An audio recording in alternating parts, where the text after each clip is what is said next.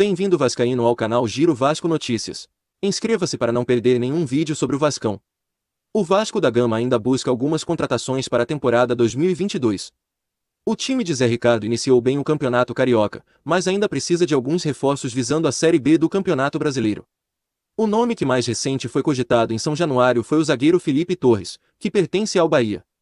A informação foi dada pelo produtor de conteúdos Matheus Barbaço, do Sou Mais Bahia, nesta sexta-feira, 28 de janeiro.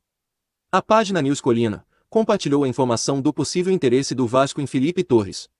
Vale ressaltar que o zagueiro ainda está no time de transição, por isso chegaria para disputar titularidade com os jogadores que compõem a defesa cruzmaltina. Mas e você vascaíno, comente o que achou dessa notícia. Inscreva-se e deixe um like para apoiar o nosso Vasco.